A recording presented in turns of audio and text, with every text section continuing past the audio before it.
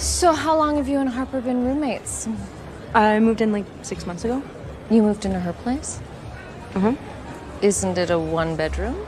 Technically, yes. Yeah, well, it was a one bedroom, and, and now that we have converted the pantry into my bedroom, it's two bedroom. So, how long have you and Harper been roommates? I moved in like six months ago. You moved into her place? Uh-huh. Isn't it a one bedroom? Technically, yes. Yeah, well, it was a one bedroom, and, and now that we have converted the pantry i- into my bedroom, it's two bedroom. So, how long have you and Harper been roommates? I moved in like six months ago. So how long have you and Harper been roommates? 前面 you 和 an 元元连读 you and How long have you and Harper been roommates? I moved in like six months ago.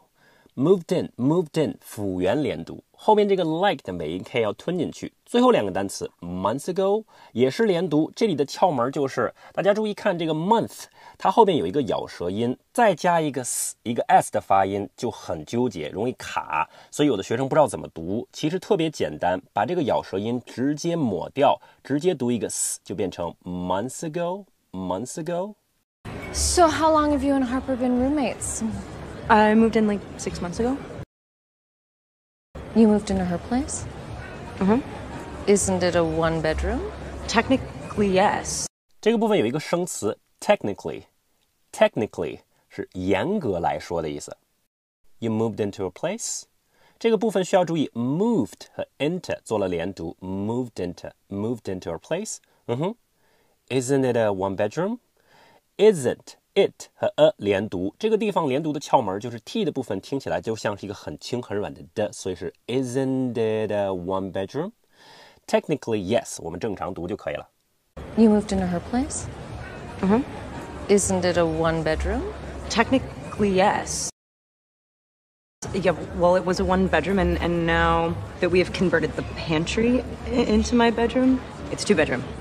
这个部分有两个生词，第一个 converted， 原型是 convert，本身有动词改变的意思，它还有一个意思是改建，在这里呢就是这层意思。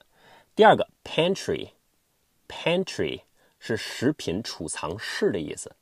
Yeah, well, it was a one bedroom, and and now that we have converted the pantry into my bedroom，这个句子稍有点长。首先前边 it 尾音 t 施暴吞进去，was 做连读，it was a one bedroom。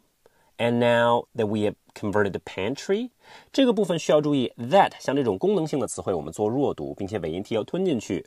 We have 这个部分的 h 声音是被击穿掉了，它没有读成 we have，而是 we have converted the pantry。converted 最后的尾音 d 呢吞进去，converted the pantry into my bedroom。